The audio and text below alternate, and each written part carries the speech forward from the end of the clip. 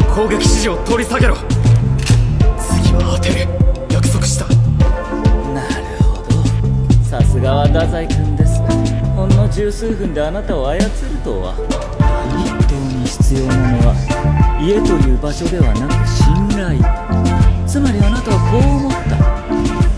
探偵社員になりたいと。空港にいる探偵者を助けなければならない。そうでしょ確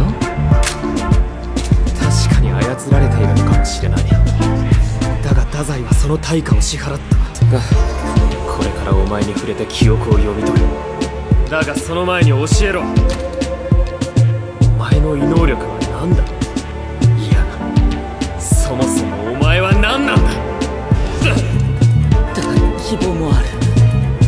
君だクラデニアツの宝剣外見は普通の武器に偽装してあるが聖獣試験と同じ異能加銀でできている。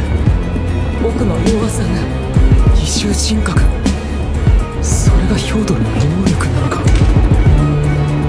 二重人格なんて陳腐な筋書きですが信じると思いましたよ。僕に触れて情報を抜き取ってもらって構いません。その勇気があれば